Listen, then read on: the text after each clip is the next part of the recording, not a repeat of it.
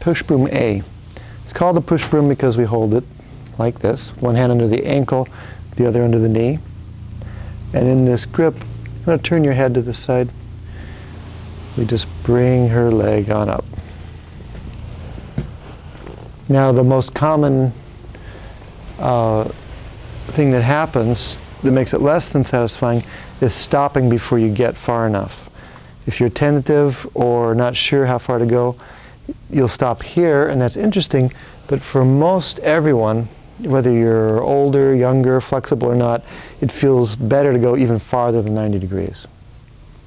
So once I'm here, I'm going to use my leg to stabilize her knee on the table and then just lean into attachments of gluteus maximus uh, all around the crest.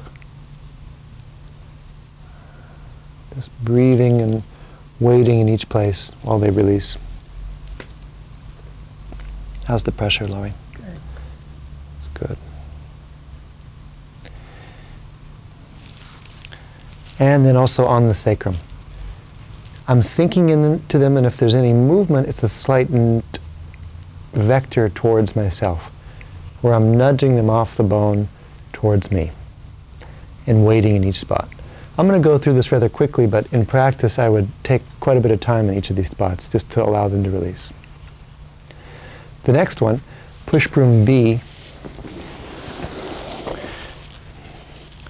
I'm going to swing her leg off the table, so essentially taking her femur into an external rotation.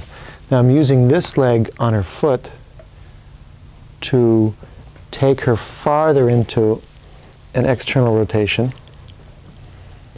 How are we doing there, Lori? Good. Now, if someone has knee history, a history of knee ligament injuries or strain, you want to be real careful with the knee because there is some uh, twist going through the lower leg into the femur to get that rotation. I'm also pulling the femur into that internal rotation here and just letting her breathe and release into that.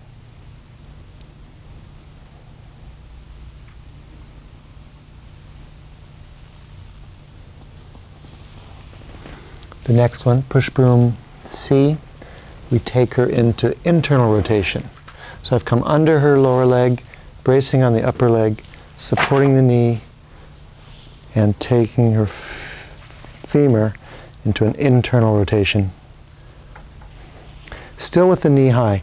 Often by this time the leg on some people has worked down to less than a 90 degree angle, but I'm keeping her leg quite high here to keep the stretch.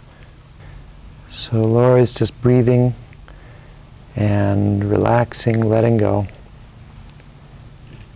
I'm feeling for that release and following it. And One of the, um, the ideas that, that the class um, offered was to be working in whole sentences. You know, to not just to kind of jump in and do a little something and leave, but you know, I'm starting, like I have a great start and a great finish, and this section that I'm working on is complete. So the client really feels, you know, they, they don't get lost. They're not just like, you're not just working on them, but you're having more of a dialogue and you're listening to the body, to their body, and you're saying something to it, and it's, you know, kind of a complete circle.